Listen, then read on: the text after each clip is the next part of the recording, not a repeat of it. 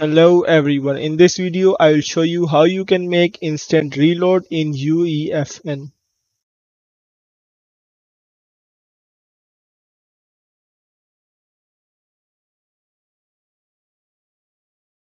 So the first method is going to be using verse make sure you are in my discord server. Right click on your project. You can go to the you can name it however you want and then we press on it double click on it. Make sure to join my discord server. The link will be in description as well as in comments.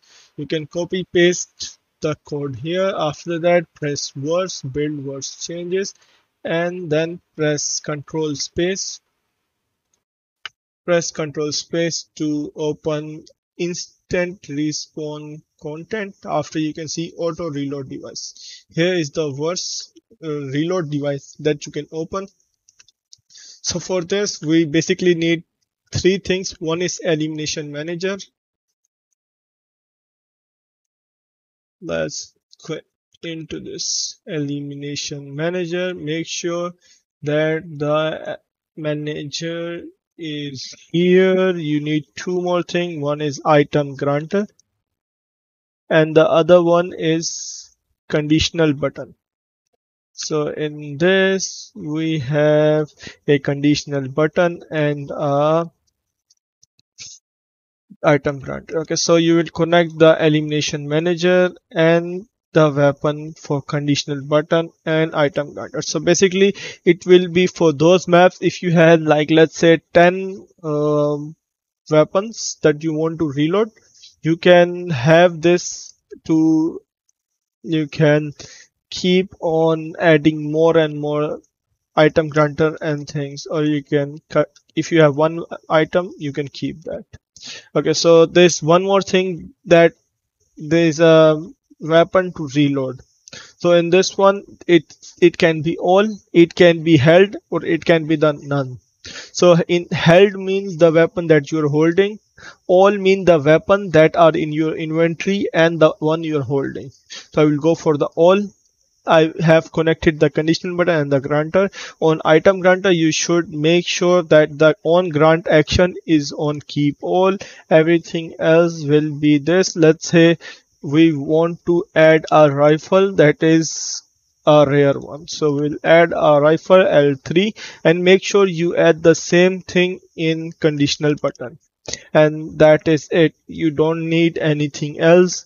And that is it for this one.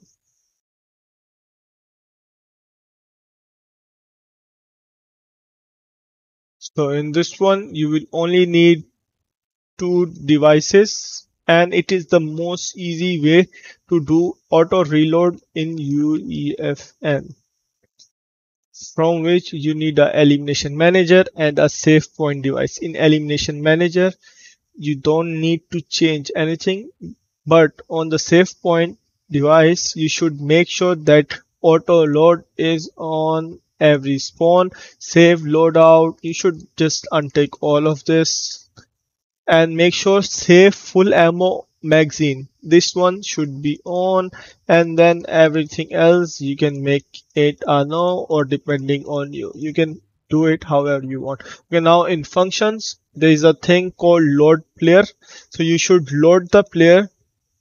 When the elimination manager gives a, a uh, event of getting someone eliminated or elimination. So we should get a elimination to reload our weapons. So this one is fu save full magazine when someone eliminates a person. That is it for this method. So in this method you will have to just have a team setting device in that you just need to do some things and the auto reload should be good. So there is a thing called reload. That is instant reload. So that is it. And you can add whatever you want and make sure the team is on all and on ground behavior keep all. And that is it for this method Make sure to subscribe. I will be uploading more tutorial like this. Stay tuned and make sure you are on my Discord server. So whenever there is a new video, you will be notified. And all the codes that are free will be posted there. So I hope you like the video. Phantom 1x sign in out. Peace.